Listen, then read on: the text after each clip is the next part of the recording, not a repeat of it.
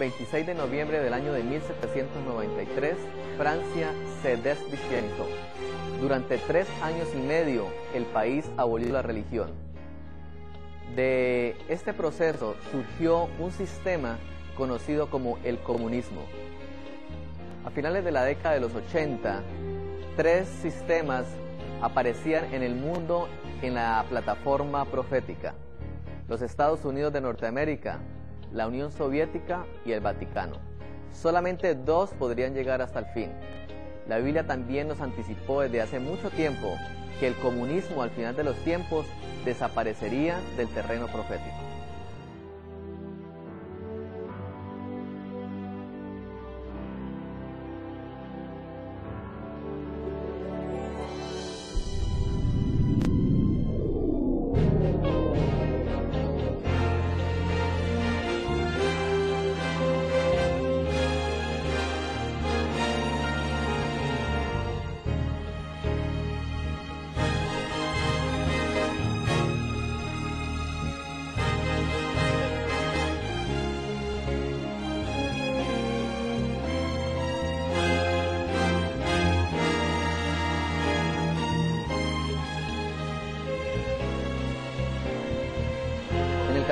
2 del libro de Daniel, cuando el rey de Babilonia recibió el sueño donde vio una gran imagen, imagen que representaba algunos de los imperios que se iban a levantar sobre la tierra hasta cuando Cristo viniera por segunda vez, representado por la roca que cayó sobre los pies de la imagen, encontramos allí una lección que tenemos que tener presente para el estudio de este día.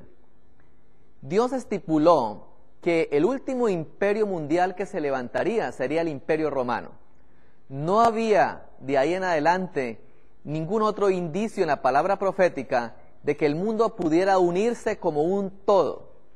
La Biblia estipuló que cuando Cristo viniera a esta tierra, los reinos de la tierra estarían divididos en naciones representados por los diez dedos de la imagen.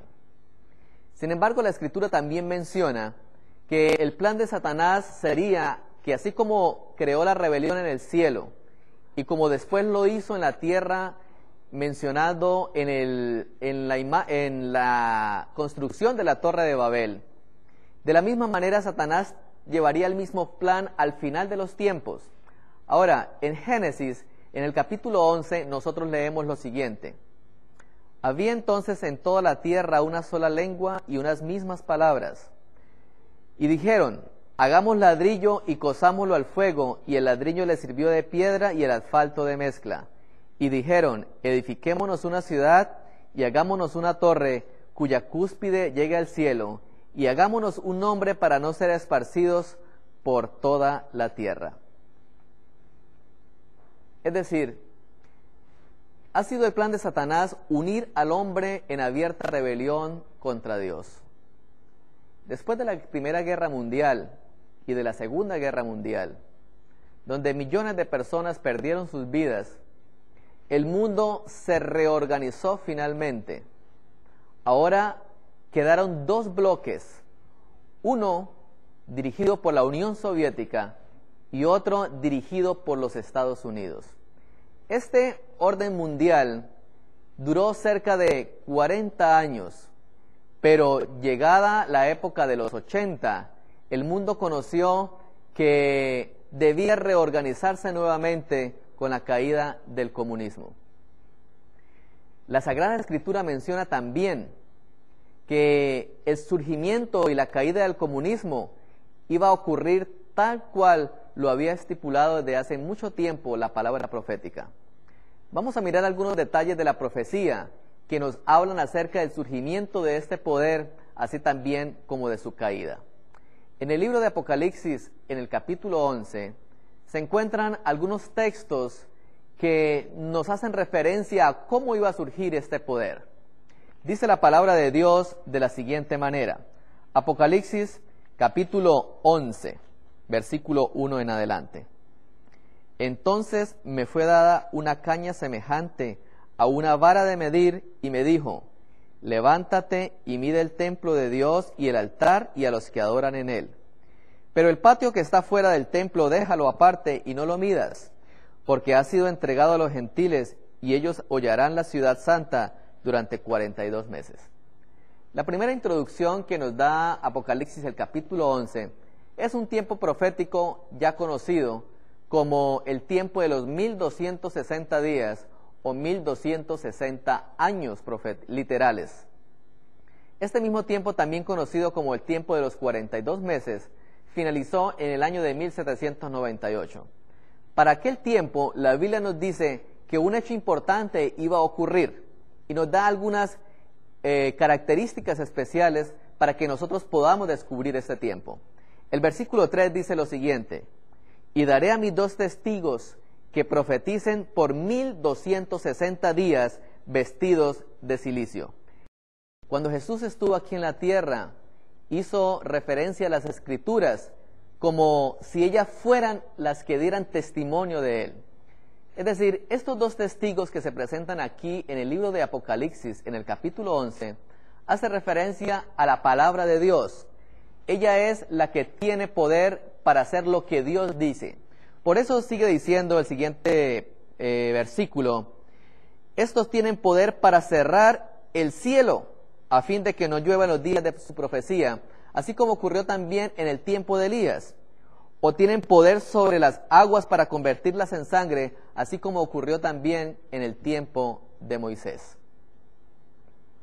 El siguiente texto menciona que algo iba a ocurrir con la escritura. Dice el versículo 7, cuando hayan acabado su testimonio, la bestia que sube del abismo hará guerra contra ellos y los vencerá, y sus cadáveres estarán en la plaza de la grande ciudad, que en sentido espiritual se llama Sodoma y Egipto, donde también nuestro Señor fue crucificado. Notemos algo especial en lo que acabamos de leer. La Biblia menciona que cuando terminara el periodo de los 1260 años, iba a ocurrir algo con la escritura.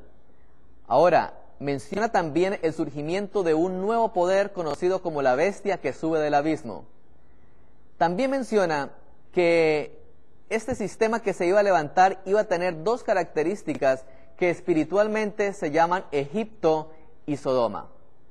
El siguiente texto dice de la siguiente manera, pero después de tres días y medio entre ellos el espíritu de vida enviado por Dios es enviado por Dios y se levantaron sobre sus pies y cayó un gran temor sobre los que lo vieron. Y oyeron una gran voz del cielo que le decía, subid acá, y subieron al cielo en una nube y sus enemigos los vieron. Cuando la bestia del abismo hace guerra contra la escritura, iba a ser por un periodo muy corto, pero una vez terminara este periodo, nuevamente la escritura iba a surgir. Ahora, es importante que antes de entrar a descifrar lo que eh, hace referencia a Apocalipsis, el capítulo 11, podamos también estudiar un texto en el libro de Daniel que hace referencia a la misma profecía y que nos indicaría de una forma eh, más detallada cómo iba a ocurrir esto en los últimos días.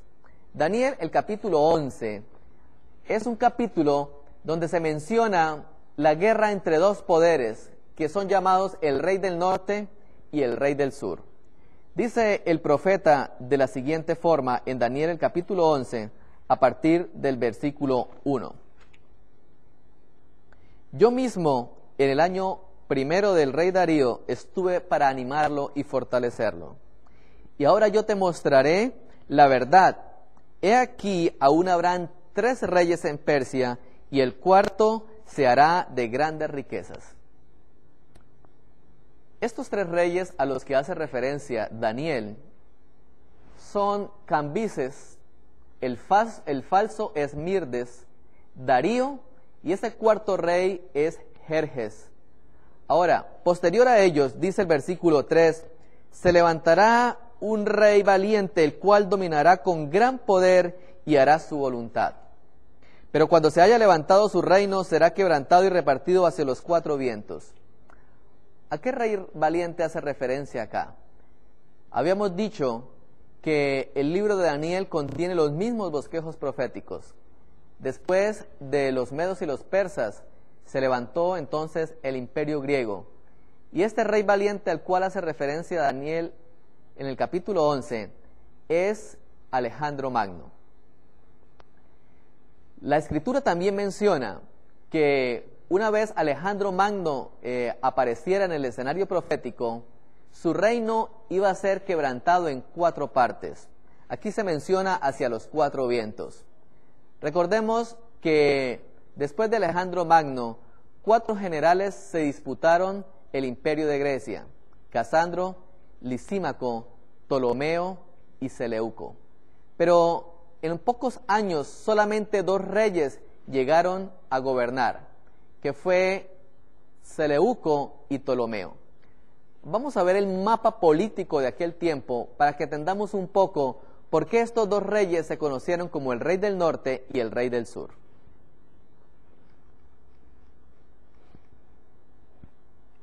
Los Ptolomeos ubicaron toda su expansión en lo que en aquel tiempo se conocía como Egipto, mientras que los Seleucos ocuparon toda la parte de Siria y de lo que era el imperio de Babilonia. Por la localización geográfica de estos dos imperios, los Ptolomeos que estaban eh, hacia el sur fueron conocidos como el rey del sur y los babilonios, donde estuvo Seleuco, fue conocido como entonces el rey del norte. De ahí en adelante, desde el, desde el versículo 5, hay una guerra entre estos dos reyes, conocidos entonces como el rey del norte y como el rey del sur. En el versículo 20 aparece entonces un nuevo imperio. Dice el versículo, y se levantará en su lugar uno que se hará pasar por cobrador de tributos por la gloria del reino, pero en pocos días será quebrantado, aunque no irá ni en batalla. En el tiempo de Jesús, recordamos nosotros que hubo un hombre que se conoció como un cobrador de impuestos, y fue precisamente en ese tiempo que nació Jesús y fue Augusto César. Es decir, la profecía de Daniel capítulo 11 nos lleva bajo los mismos imperios que nosotros notamos en Daniel el capítulo 2, Medo-Persia, Grecia y ahora vamos en el imperio romano. Pero hay algo interesante allí. Dice el versículo 40 de la profecía de Daniel 11 que en el tiempo del fin el rey del sur se levantaría contra el rey del norte y posteriormente el rey del norte se levantaría contra el rey del sur como una tempestad. El tiempo del fin empezó en el año de 1798, de acuerdo a las profecías bíblicas. El último de los descendientes de los Ptolomeos fue conocido, o fue conocida más bien, como Cleopatra. Para 1798, ya los descendientes del imperio Seleucida, que fueron conocidos como Seleucos y Antíocos, ya no existían más. De igual forma, los Ptolomeos tampoco existían. ¿Por qué será que la Biblia menciona que en el tiempo del fin nuevamente se levantaría el rey del norte y el rey del sur? Ahora, notemos algo especial. Apocalipsis capítulo 11 nos dice que también para esa misma fecha, en el tiempo del fin, se levantaría una bestia que sube del abismo y que en sentido espiritual se llama Egipto. En Daniel capítulo 11 vimos que el rey del sur es también conocido como el rey de Egipto. Las profecías bíblicas que tienen su interpretación hacia el tiempo del fin deben entenderse de manera simbólica o de manera espiritual. Es decir, ya no vamos a pensar que el rey del sur, en este caso, sea un gobierno eh, político literal como ocurrió en el tiempo en que fue dada la profecía, sino que el símbolo de Egipto debe representar algo. Cuando nosotros vamos a la Sagrada Escritura, recordamos entonces la experiencia de Egipto. Y el faraón de Egipto tenía una característica especial. Cuando Moisés con Aarón se presentaron ante el rey para mostrarle la maravilla de Dios, la respuesta del faraón fue, yo no conozco al Señor. Cuando una persona lanza esta expresión, está manifestando que es una persona atea que no cree en Dios. Y precisamente lo que la escritura estaba mencionando es que para ese tiempo un poder ateo se levantaría y haría guerra contra la Sagrada Escritura. Este cumplimiento nosotros lo vemos en el libro de Apocalipsis representando al imperio de Francia o al país de Francia en el tiempo de la Revolución Francesa. Desde el 26 de noviembre de 1793 hasta el 17 de junio de 1797, Francia se descristianizó. El conflicto de los siglos menciona lo siguiente acerca de esto. La gran ciudad en cuyas calles son asesinados los testigos y donde yacen sus cuerpos muertos se llama simbólicamente Egipto. De todas las naciones mencionadas en la historia de la Biblia, fue Egipto la que con más osadía negó la existencia del Dios vivo y se opuso a sus mandamientos. Ningún monarca resistió con tanto descaro la autoridad del cielo como el rey de Egipto. Cuando se presentó Moisés ante él para comunicarle el mensaje del Señor, el faraón contestó con arrogancia, ¿quién es Jehová para que yo oiga su voz y deje ir a Israel? Esto es ateísmo, y la nación representada por Egipto iba a oponerse de un modo parecido a la voluntad del Dios vivo y a dar pruebas del mismo espíritu de incredulidad y desconfianza. Ahora notemos que Francia cumplió las características especiales dadas por la profecía. Fue un país ateo en aquel tiempo y aparte de eso fue un país disoluto, caracterizado de igual forma por Sodoma, porque al abolir la Sagrada Escritura durante este periodo de tres años y medio, el matrimonio también fue disuelto y hubo un periodo de inmoralidad en el tiempo de la Revolución Francesa. Ahora qué interesante, la Biblia también decía que después de este periodo, nuevamente los dos testigos iban a resucitar. En el año de 1804 fue fundada la Sociedad Bíblica Británica y en el año de 1816 fue fundada la Sociedad Bíblica Americana. Ahora la Biblia iba a empezar a traducirse en muchos idiomas e iba a ser transmitida a muchas naciones en el mundo entero, tal cual lo había dicho la profecía. Pero la profecía también era clara en cómo iba a caer este imperio. Debemos recordar cómo surgió entonces el imperio comunista en nuestros días. Los Illuminati habían infiltrado la Revolución Francesa y decidieron crear una antítesis del capitalismo que se iba a conocer como el comunismo. No es casualidad que el comunismo haya escogido eh, una estrella como uno de sus símbolos. Ya habíamos especificado qué representa el pentagrama. Ahora, en 1823, un profesor alemán llamado Hegel había propuesto un plan específico para esto. Él mencionaba que la existencia de un tipo de gobierno-sociedad se llamaba tesis. En aquel tiempo sería el capitalismo, pero que con la aparición de lo opuesto, un gobierno-sociedad se llamaría entonces antítesis, y por esto él decide crear el comunismo. La tesis y la antitesis comenzarían naturalmente a luchar una contra la otra, ya que eran exactamente sistemas opuestos y por tanto verían los asuntos en formas diferentes. Si la tesis y la antitesis luchaban una con la otra por un largo periodo y ninguna parte aniquilaba a la otra, esa batalla resultaría en que ambas cambiarían a un sistema híbrido de gobierno y sociedad que él llamó síntesis. Ahora bien, la Biblia era clara en que sería el rey del norte quien golpearía finalmente al rey del sur, pero primero el rey del sur golpearía al rey del norte. La pregunta es, ¿quién representa al rey del norte? Así como Egipto y Sodoma han sido un símbolo espiritual, también Babilonia, el sitio donde reinaban antiguamente los seleucos, también debe interpretarse de manera espiritual. En el libro de Apocalipsis, en el capítulo 17, nos habla de una mujer que está sentada sobre una bestia escarlata. Y dice el versículo 4 de Apocalipsis 17, y la mujer estaba vestida de púrpura y escarlata, y adornada de oro de piedras preciosas y de perlas, y tenía en la mano un cáliz de oro lleno de las abominaciones y de la inmundicia de su fornicación, y en su frente tenía escrito un misterio, Babilonia la Grande.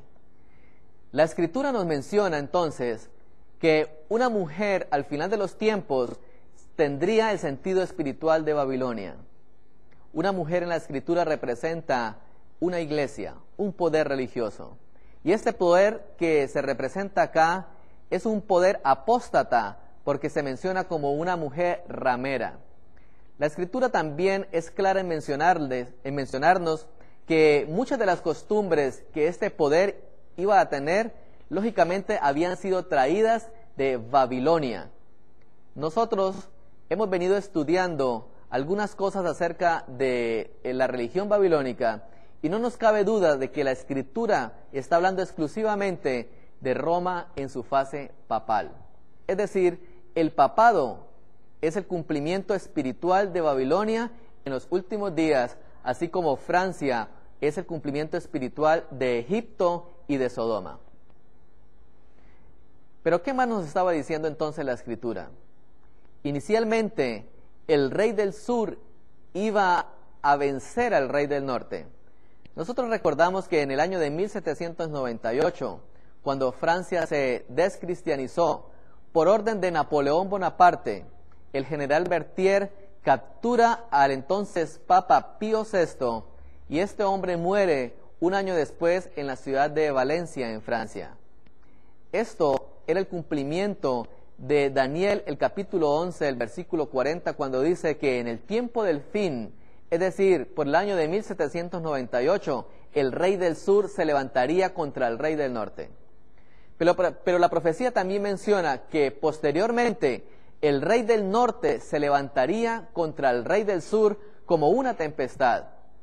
Es decir, se había estipulado en la palabra profética que con el tiempo el papado tendría que finalmente aniquilar al rey del sur, es decir, al comunismo. ¿Cómo ocurrió esto? ¿Y qué acontecimientos sucedieron desde 1798 hasta el final del comunismo? Recordemos que en el año de 1848, este hombre, conocido como Carlos Marx, saca a la luz pública el manifiesto comunista. Con esto, el comunismo empezaba a organizarse como un sistema político. Las estrategias de este sistema eran abolir la monarquía y todo gobierno organizado, abolir la propiedad privada, abolir la herencia, abolir el patriotismo, abolir la familia y el matrimonio y abolir toda religión. Con esto se pretendía entonces instaurar un sistema no basado en principios morales, sino basado en los principios que había tenido Adán Weissaf y lógicamente que eran principios ateos.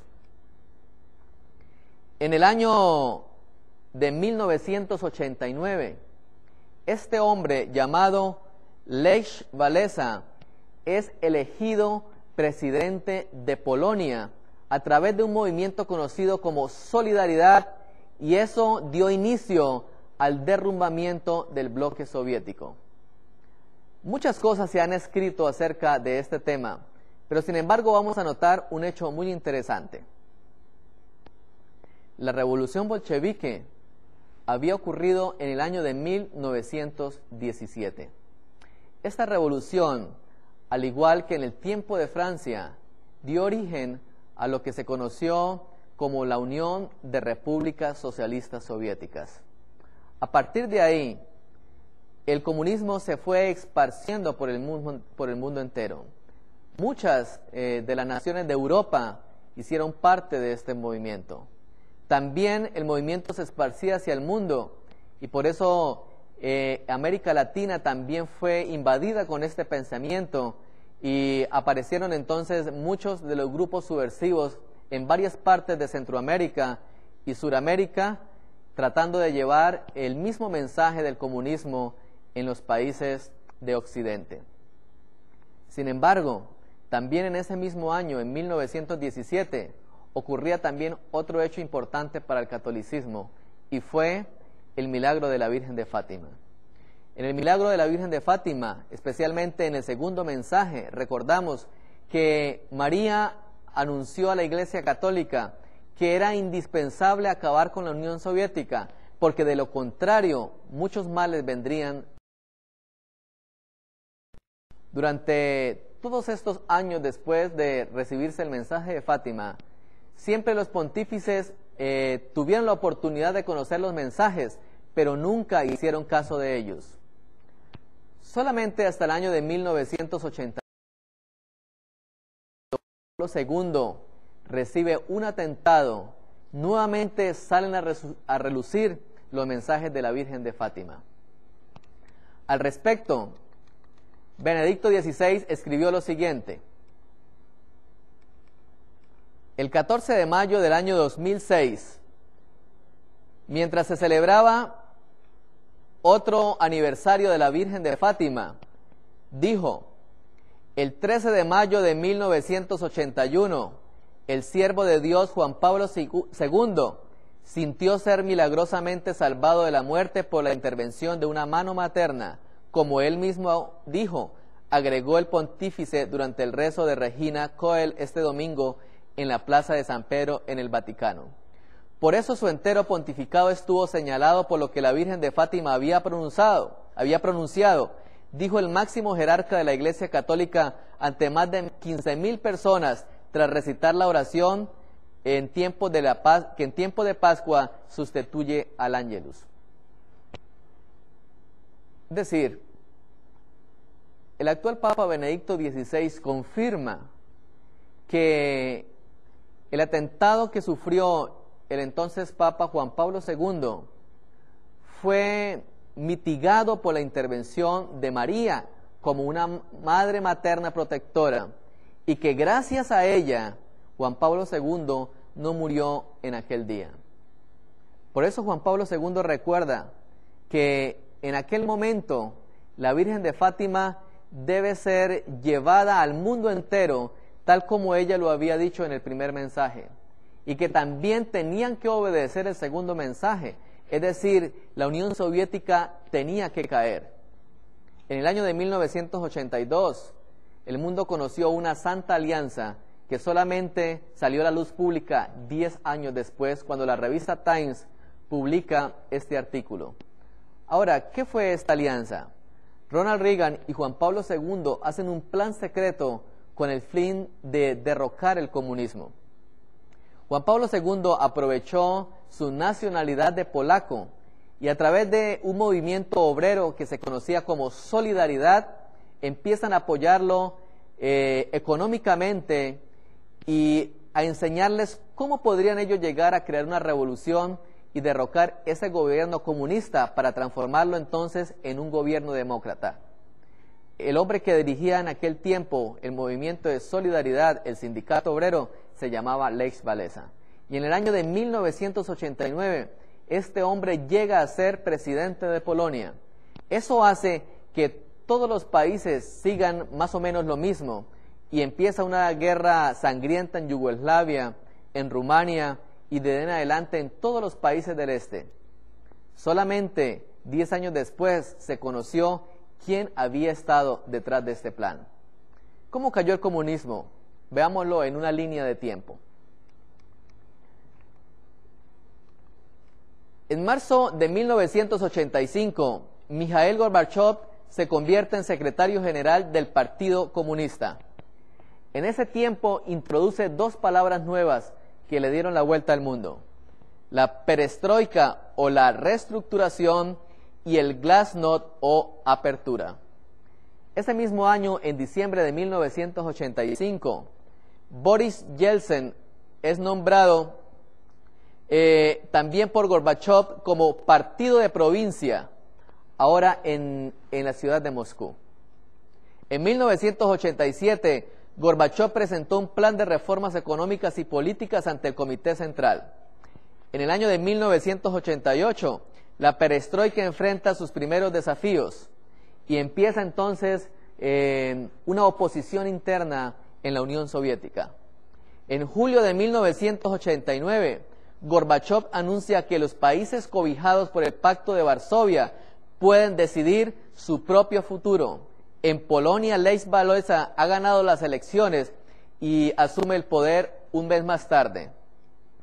En noviembre de 1989, el mundo es testigo entonces de la caída del muro de Berlín.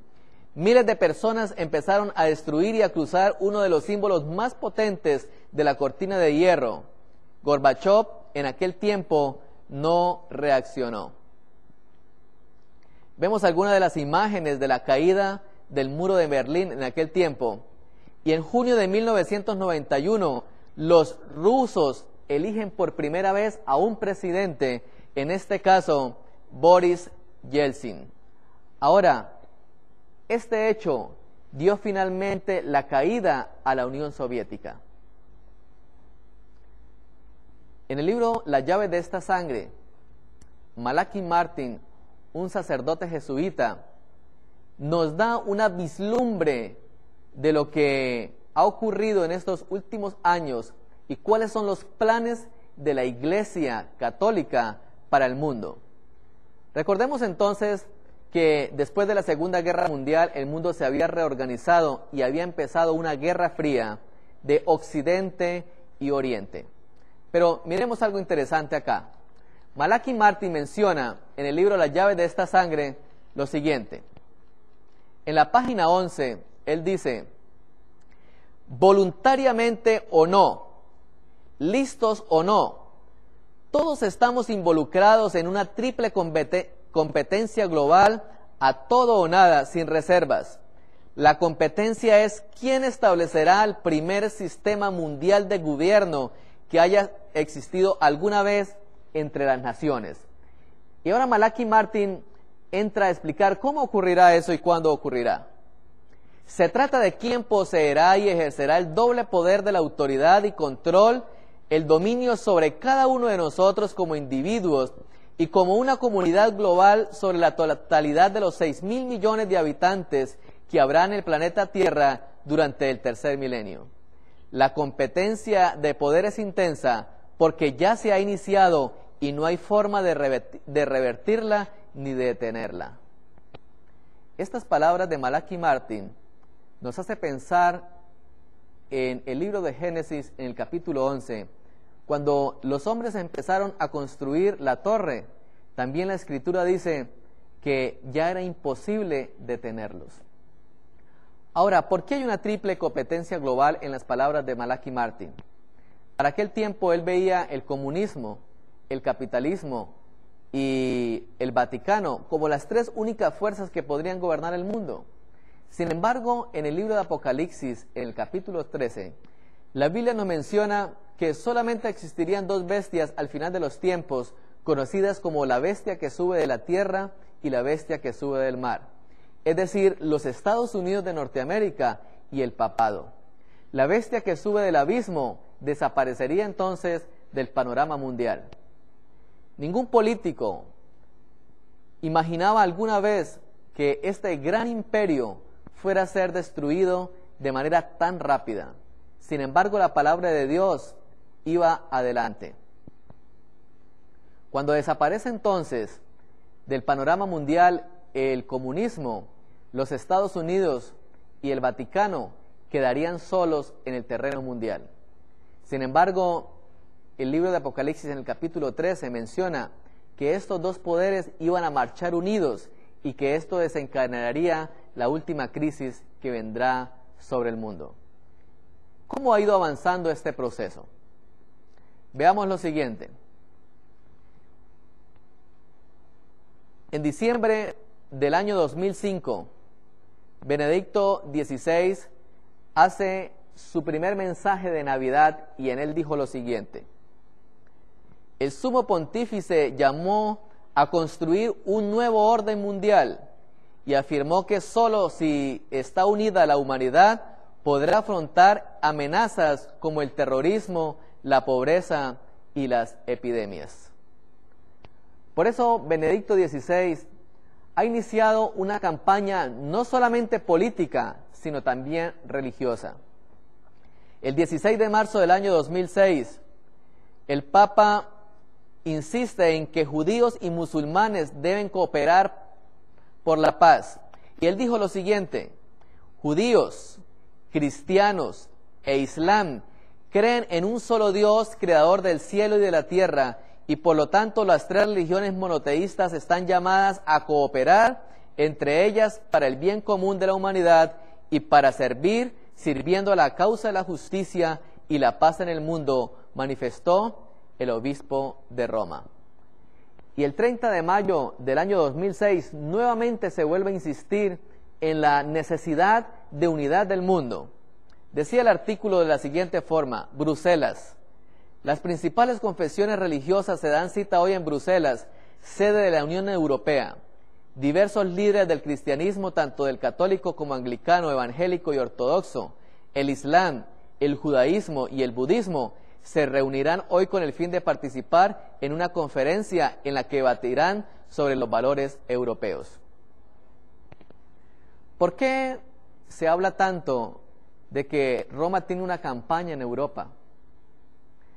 Libro de Apocalipsis, capítulo 13, menciona que el Vaticano se levantaría en Europa y que allí ejercería su dominio Ahora, era necesario que el comunismo desapareciera de la escena final, porque al igual que en la antigüedad, mientras los arrianos, unas tribus que se oponían en doctrina al obispo de Roma, no desaparecieran del panorama mundial, el obispo de Roma no llegó a ocupar el puesto que se le dio en la Edad Media como supremo sobre todos los imperios.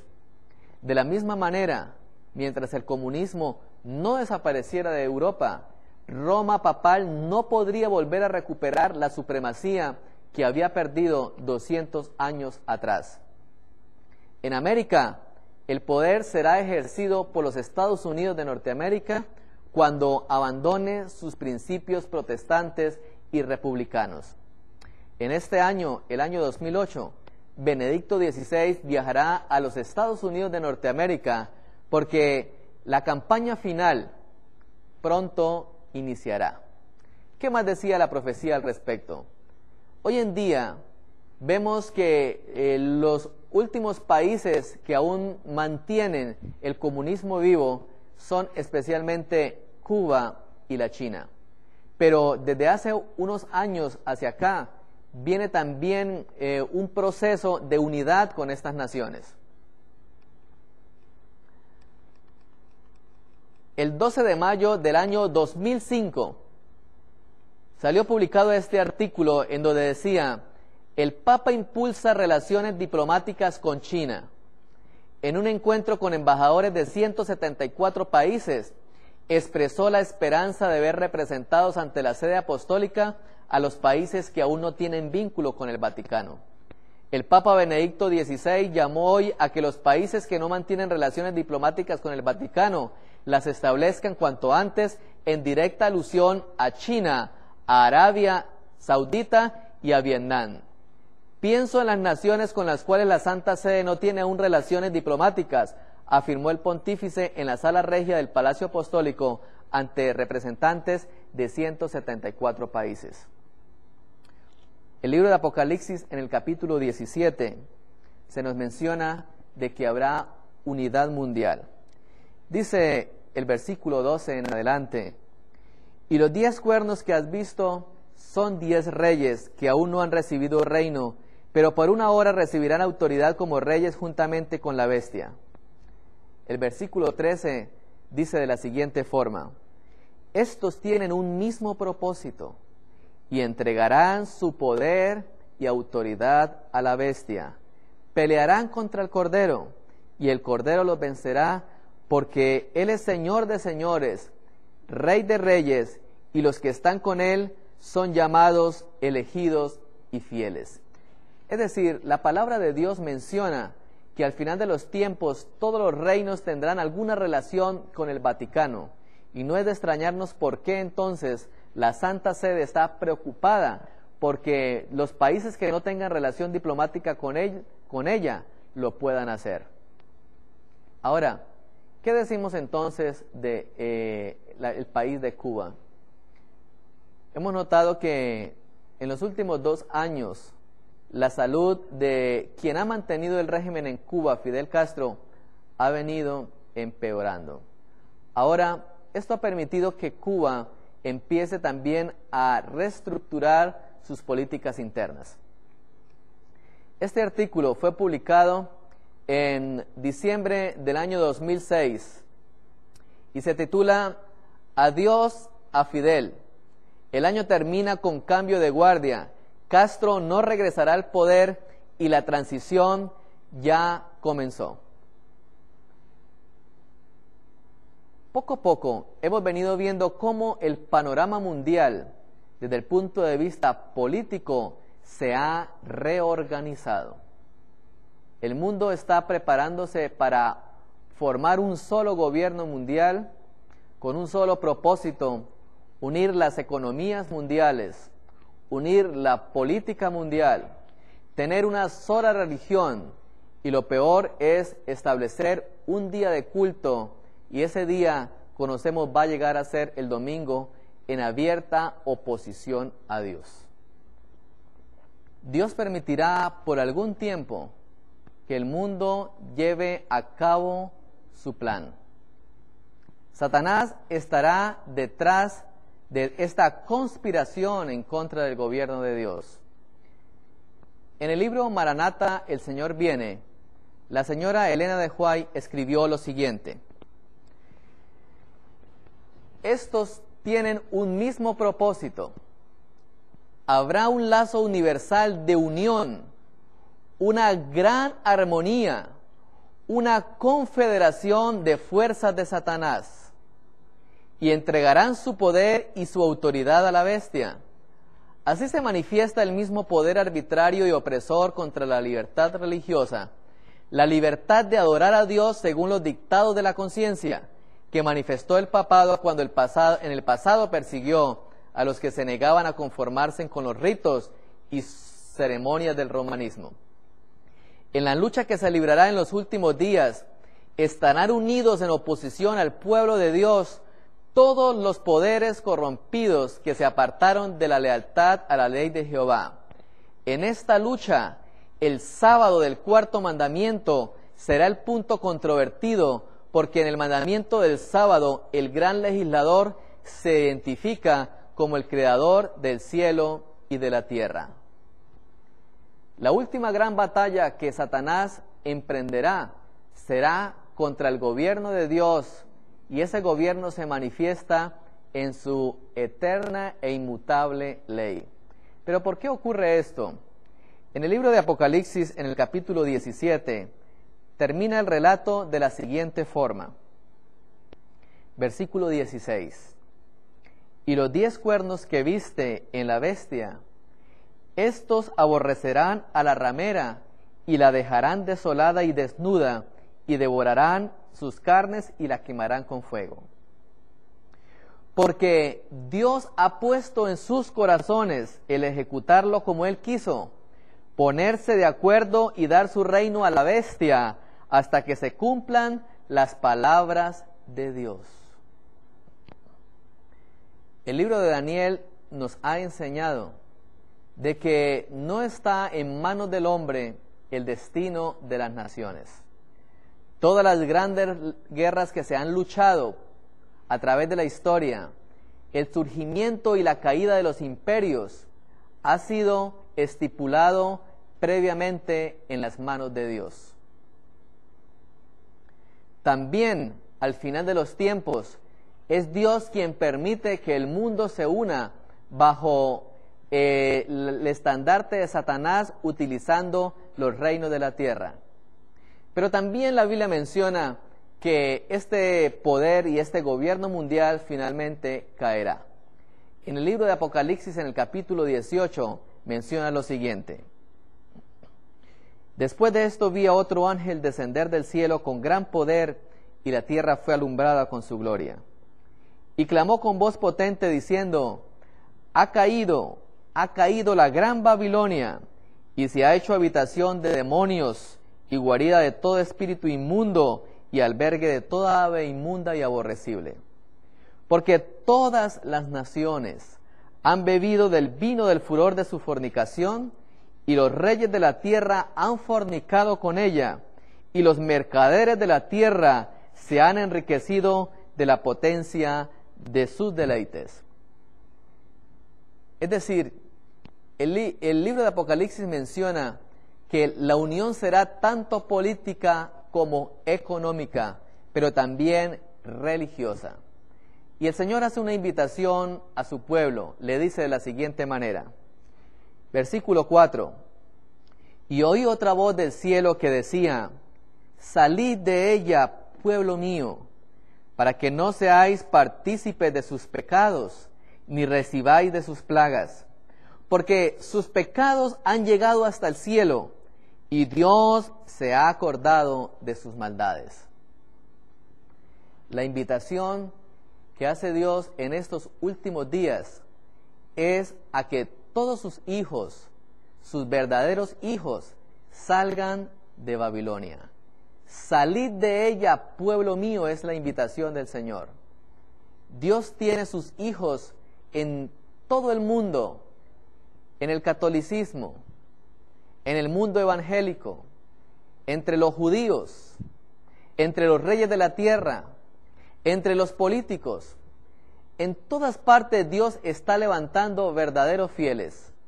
Y así como en el tiempo del Israel antiguo, solamente los seres humanos tendrán que tomar una decisión. Esa decisión ha llegado el momento en que cada ser humano que habite sobre la tierra la tome. ¿Cuál será tu decisión? ¿Cuál será mi decisión? Dios requiere obediencia a sus mandamientos, a todo lo que Él estableció como santo, como puro y como bueno. La guerra final que se librará antes de que Cristo venga a la tierra, tendrá única y exclusivamente que ver con los mandamientos de Dios. En el libro de Apocalipsis, en el capítulo 12, el versículo 17 dice, el dragón se llenó de ira contra la mujer y se fue a hacer guerra contra el resto de la descendencia de ella, es decir, los que guardan los mandamientos de Dios y tienen el testimonio de Jesucristo. No es una guerra física la que se librará al final de los tiempos como muchos piensan. No es que China se levantará para luchar una guerra nuclear o que en Israel se levantará un anticristo. Nunca la escritura menciona nada acerca de esto. El día final será decidido por quienes son obedientes a los mandamientos de Dios. En el libro de Apocalipsis, en el capítulo 16, Dice el versículo 15, He aquí, yo vengo como ladrón, bienaventurado el que vela y que guarda sus ropas para que no anden desnudo y se vea su vergüenza. Es decir, esta lucha espiritual que vemos al final de los tiempos decidirá el destino eterno de todos los seres que habitan sobre la tierra. Llegará el momento en que Jesús terminará su obra en el cielo, en el santuario, y entonces se pronunciará la sentencia, el que es justo siga siendo justo, y el que es injusto siga en su injusticia. Dios les bendiga.